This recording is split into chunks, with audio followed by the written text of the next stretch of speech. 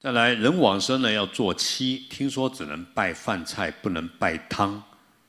听说汤水的水，听说说会烫到水。这个佛经没说，佛经说一定要一大碗水，啊，一大碗饭，每次超度的水跟饭要大碗，啊，因为这众生需要的，所以。我想各位女孩子要多听佛法，所以善家在家人要有三种具足，那叫戒具足、布施具足、多闻具足，啊，不然的话你你就听人家说你就改变了。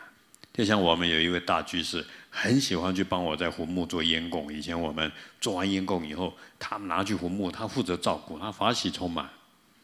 后来他碰到一个朋友，带他去问一个什么通灵，他说：“哦，你莫去帮我包领导弄鬼啊！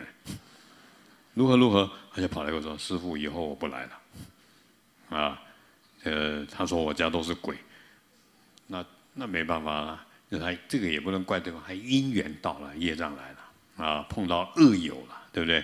影响他的信心了啊，所以基本上没这个问题，因为大悲无所谓，对不对？你帮助越多，那就算他求你帮助，这也是我们本来要做的工作嘛，就是希望对他们好啊。那就算有一点点困扰，也不会怎么样，而且会消更大的重业。所以汤啊、水啊、饭啊都放啊。